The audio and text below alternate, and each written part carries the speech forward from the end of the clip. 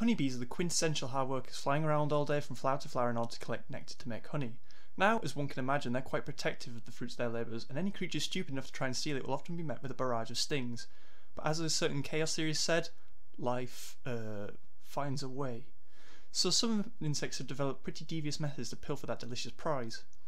This is Acherontia atropos, the Death's Head hawk moth, and to some of you it may look very familiar, as it appeared on the poster for Silence of the Lambs, but rather than sharing Dr. Lecter's taste for human flesh, this macabre looking moth prefers the sweeter things in life and will often raid beehives in search of honey. Like all potential intruders, they are attacked as soon as they try and enter, but survive due to their thick cuticle, which acts like armour.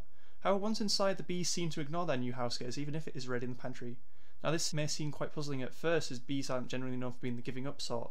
So, how does the moth go around without being attacked continuously? The answer is it smells like a bee.